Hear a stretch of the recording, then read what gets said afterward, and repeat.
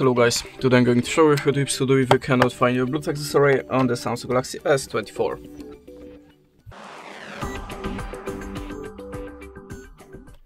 So if you have if you have a problem to find your Bluetooth gadget, always start from the simplest way. So switch off and switch on again the Bluetooth connection to restart it. You can also try to restart your phone. It's obvious I know, but sometimes it really works, so just try it.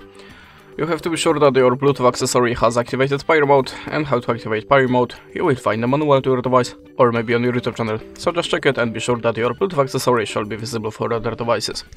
But it's still not for your phone, let's open the settings.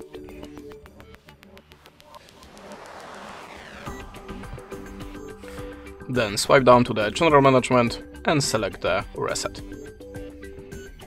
Choose the Bluetooth settings, tap on Reset settings. After that, look for your device again on the Bluetooth list. In the next step, you can also try to up your system, so in the settings go to the software update, if you have any, just choose the first section to check it, if you have any, install it and check for your device again. And that's it. Thanks for watching, leave us a like or comment and goodbye.